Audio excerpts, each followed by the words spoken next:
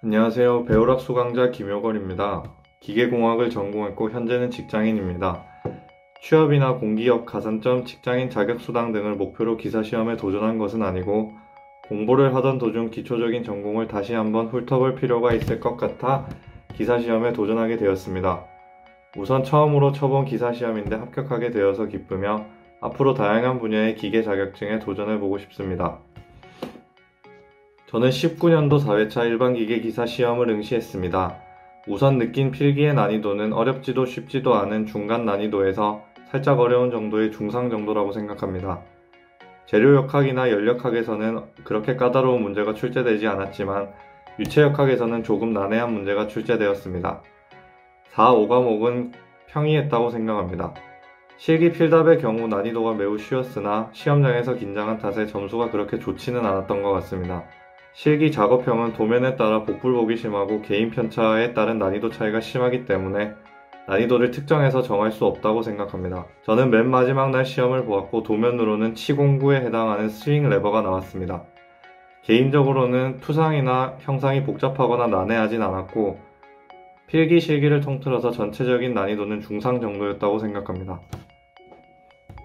쉴 날을 확실히 정해놓고 구멍이 나는 날이 없이 꾸준히 정해진 양을 매일 학습하는 것입니다. 직장인 분들은 이게 좀 어려울 수 있습니다. 회사에서 일이 생겨서 출장을 가거나 야근을 하면 주말을 쪼개서 공부해야 하는 일이 생기는데 자신만의 템포를 정해놓고 템포를 잃지 않고 공부하는 것이 중요하다고 생각합니다. 그러기 위해서는 쉬는 시간과 공부하는 시간을 확실히 정해서 그 시간에 자신의 스케줄에 맞춰서 공부를 하는 것이 좋다고 생각합니다. 저는 학부생 때나 다른 자격시험을 준비할 때도 필기노트나 오답노트를 만들지 않았습니다. 저 같은 경우는 모든 문제풀이나 암기를 A4 용지하고 따로 보관하지 않고 바로 그날 버립니다. 만약 다음날 그중 까먹은 내용이 없으면 다시 필기하면서 외운 뒤 버리고 이 과정을 계속 반복하였습니다.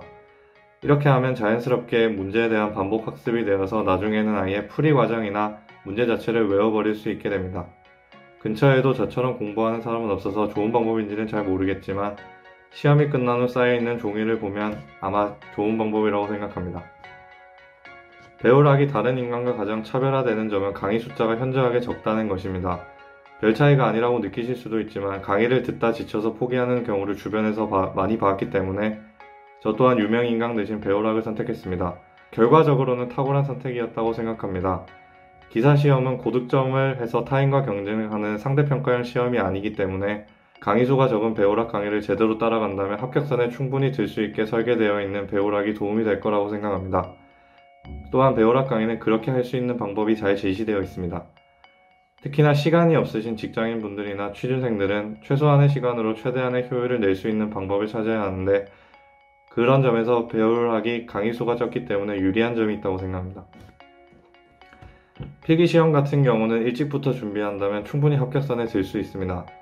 개인적으로 시험을 준비하면서 가장 어려웠던 점은 필기 발표 후 필답 작업형 실기시험까지 시간이 얼마 없다는 것입니다.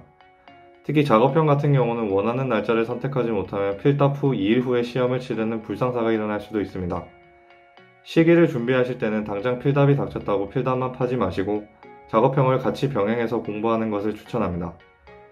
그리고 작업형 시험 장소 선택 기간에는 무조건 일찍 접속해서 시험일을 최대한 뒤로 미루는 것을 추천합니다. 그러면 일주일에서 10일 정도의 작업형 공부 시간을 벌 수 있기 때문에 큰 도움이 될 수 있습니다. 최근에는 작업형 시험이 동력 전달 장치와 치공고가 1대1 비율로 나오는 경향이 많기 때문에 앞 시험에 무슨 도면이 나왔는지 알 수 있다면 내가 시험 칠 때 무슨 도면이 나오는지도 예측할 수 있습니다. 일반 기계 기사 수험생 여러분의 합격을 응원합니다.